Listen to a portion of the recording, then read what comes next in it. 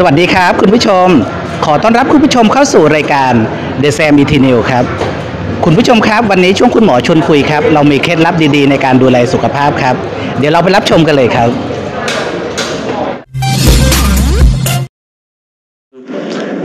บางคนเนี่ยไอเรื้อรังโดยที่ไม่มีอาการกรดไหลย้อน ก็ได้นะครับ แต่สุดท้ายเป็นจากกรดไหลย้อน เรารู้อยู่แล้วเวลาไอมนุษย์ ไอจากสาเหตุจมูก จากหู จากคอ จากปอด จากหลอดลมได้ อีกหนึ่งสาเหตุคือหลอดอาหาร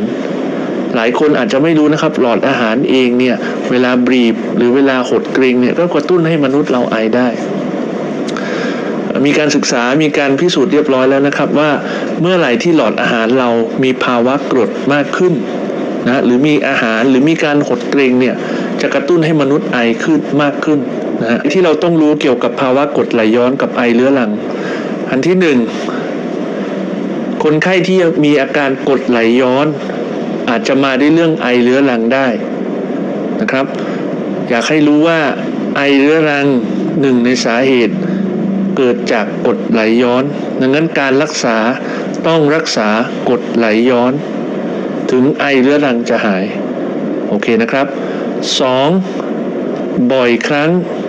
คนไข้ไม่มีอาการกดไหลย้อนก็เป็นไปได้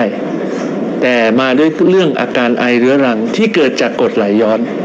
อ้าวแล้วหมอจะวินิจฉัยยังไงล่ะอ่าคนไข้ไม่มีอาการเลย แต่สุดท้ายหมอไปวินิจฉัยว่า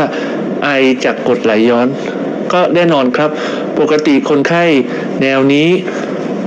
หมอที่จะช่วยในการวินิจฉัยเนี่ยเขาต้องไล่หาสาเหตุว่าไอเรื้อรังจากคนไข้รายนี้น่าจะเป็นจากอะไร อย่างที่ผมบอกนะฮะก็ต้องมานั่งไล่ไอจากหลอดลมส่วนบน ไอจากยาไอจากควันบุหรี่ไอจากบุหรี่ไอจากฝุ่นไอจากภูมิแพ้ไอจากโรคปอดหรืออะไรอย่างเงี้ยนะครับสุดท้ายไล่ไปเนี่ยก็ต้องอาจจะต้องให้หมอทางเดินอาหารช่วยส่องกล้องเข้าไปดูนะผมก็มีหลายรายนะครับ ไล่หรือลองรักษาแบบ step หนึ่ง step สองแล้วไม่ดีขึ้นนะรักษาแบบภูมิแพ้แล้วรักษาแบบหลอดลมอักเสบแล้ว คนไข้ก็ยังไอ ก็ลองปรึกษาหมอทางเดินอาหารดู แล้วบอกว่าเนี่ยครับคนไข้ไม่มีอาการกรดไหลย้อนนะครับ แต่ว่าเราลองรักษาไอเรื้อรังหลายสาเหตุแล้วไม่ดีขึ้น อยากจะให้ช่วยดูว่าคนไข้มีกรดไหลย้อนแอบแฝงอยู่หรือเปล่า